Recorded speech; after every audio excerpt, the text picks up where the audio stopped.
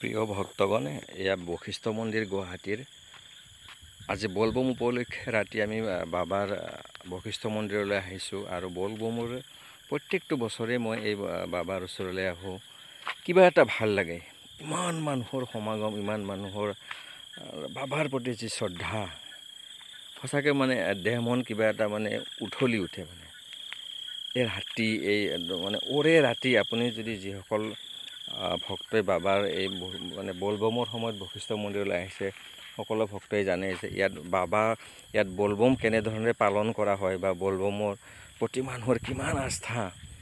ইয়াৰ পৰা কিছুমান ভক্তই ইয়াৰ পৰা পানী লৈ গৈ খালী ভৰি ভৰিত কোনো ধৰণৰ চেণ্ডেল নিপিন্ধাকৈ কোনো ধৰণৰ মানে জোতা চেণ্ডেল নিপিন্ধাকৈ গৈ ইয়াৰ পৰা পানী নি শুক্লেশ্বৰ দেৱালয়ৰ শিৱ মন্দিৰত যি শিৱলিংগ আছে তাতেকে ঢালে খোজকাঢ়ি কাঢ়ি গৈ।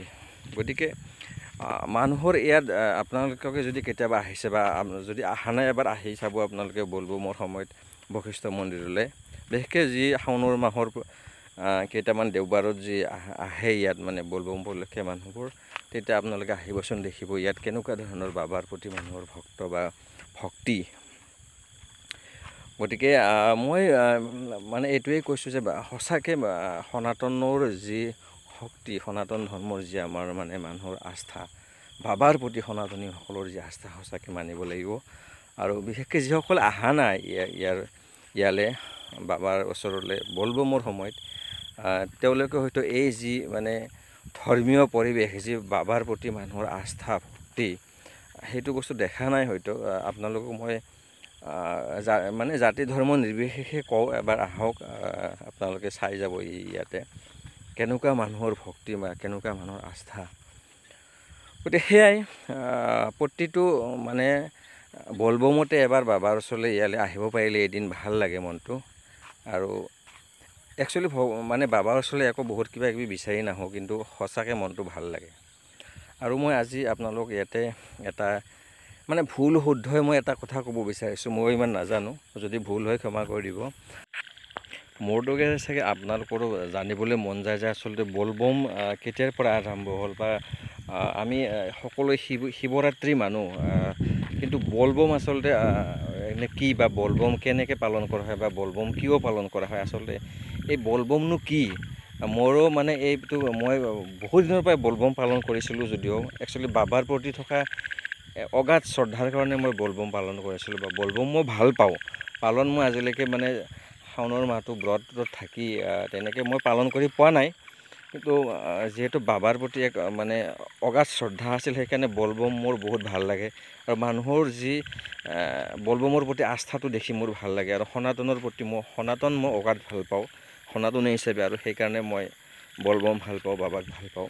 কিন্তু মোৰ ইয়াৰ মাজত এটা মোৰ ইচ্ছুকতা ৰৈ গৈছিল যে আচলতে বলবমনো কি কিয় এই শাওণৰ মাহটো বাবাক? এনেই জানিছিলোঁ যে মানে শাওণৰ মাহটো বাবাৰ জনম জনমবাৰ বুলি বোলে জনমৰ মাহ বুলি বহুতত শুনিছিলোঁ কিন্তু মই ইমান নাজানো। তথাপি মই এতিয়া আজি যি মই শুনিছিলোঁ মই এজন মোৰ ককা এজনক সুধিছিলোঁ যে বলবম কিয় বা বলবম কিয় পালন কৰা হয়?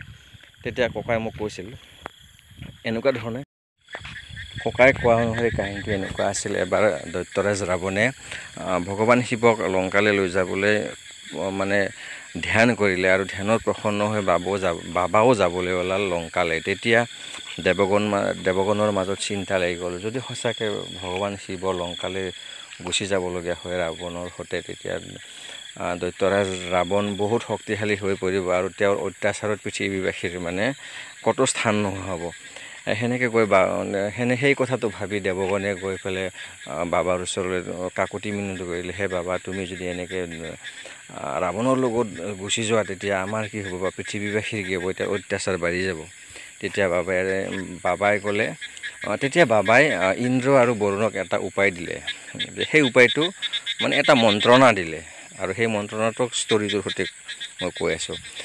যেতিয়া নেকি মানে ৰাৱণে ধ্যান কৰি আছে প্ৰচুৰ পৰিমাণে মানে প্ৰচুৰ ধ্যান কৰিছে আৰু মানে দিন ৰাত একাকাৰ কৰি ধ্যান কৰিব লাগিছে। তেওঁ তেতিয়া বাবা প্ৰসন্ন হ'ল হৈ পেলাই ৰাৱণৰ ওচৰত প্ৰকট হৈ পেলাই সুধিলে হে ৰাৱণ তুমি কিয় এনেদৰে ধ্যান কৰি আছা? ইমান মানে ধ্যানমগ্ন কিয় হৈ আছা? মোক কি বিচাৰিছা তুমি? অৱশ্যে শিৱই জানে। তেতিয়া ৰাৱণে ক'লে যে বাবা মই তোমাক মোৰ সৈতে লৈ যাব বিচাৰোঁ। তেতিয়া বাবাই এটা মানে ৰাৱণক এটা চৰ্ত দিলে ঠিক আছে বাৰু মই তোমাৰ সৈতে যাম।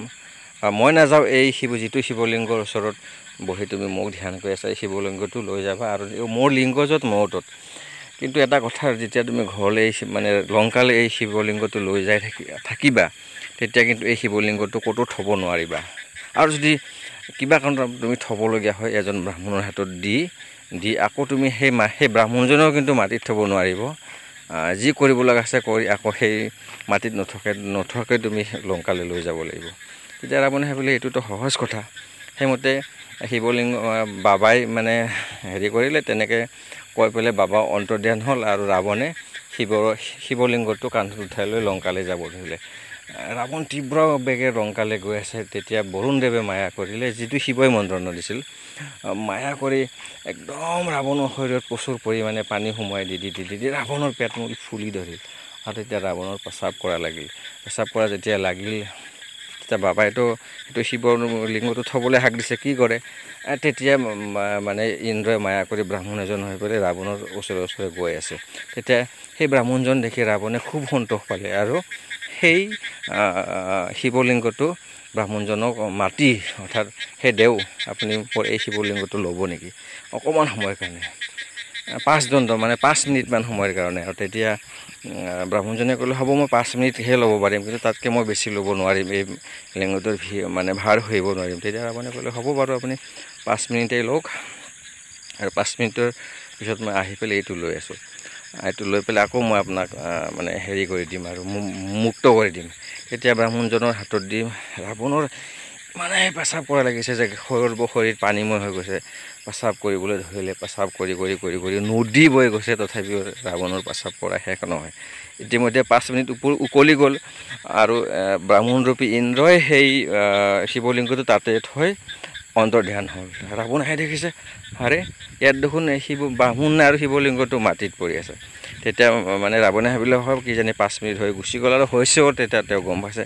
তেতিয়া তেওঁ গাত সৰ্বশক্তি প্ৰয়োগ কৰি সেই শিৱলিংগটো মাটিত যেতিয়া ব্ৰাহ্মণে থৈছিল পোত খাই গ'ল। সেই মানে আধামান পোত খাই গ'ল। সেই আধামান পোত খোৱা শিৱলিংগটো তুলিবলৈ অপ্ৰাণ চেষ্টা কৰিলে। কিন্তু ৰাৱণে শিৱলিংগটো সেই মাটিৰ পৰা উঠাই আনিব নোৱাৰিলে। সেই কিছুদিন পিছত সেই শিৱলিংগ তাতে পোত গৈ থকা দেখি সেই গঞা ৰাইজে সেই ওচৰৰ মানুহবিলাকে লগ লাগি সেই শিৱলিংগটো মানে আটাইবোৰ গাঁৱৰ মানুহ লগ লাগি আহি সেই শিৱলিংগটো বল বোম বল বোম বল বোম কৰি বাবাৰ নাম লৈ পেলাই মানে উঠাই আনিলে সেই মানে আধা পোত গৈ থকাৰ পৰা। আৰু যেতিয়া শিৱলিংগটো উঠি আহিল আৰু তাতে মানে তীৰ্থস্থান পাতিলে তেওঁলোকে। আৰু বাবাৰ সেই য'ত শিৱটো মানে মানে শিৱলিংগটো পোত খাই গৈছিলে য'ত বল বোম বল ভক্তসকলে বাবাৰ লিংগটো উদ্ধাৰ কৰিছে তাতো আজি এক বিশেষ ভাৰতৰ মহা এক তীৰ্থস্থান আছে। গতিকে মই নাজানো এইটো কাহিনী সঁচা নে মিছা নেকি মই আপোনালোক যিখিনি জানিছিলোঁ সেইখিনি ক'লোঁ। গতিকে কাহিনীটো ইমানেই আছিল ধন্যবাদ।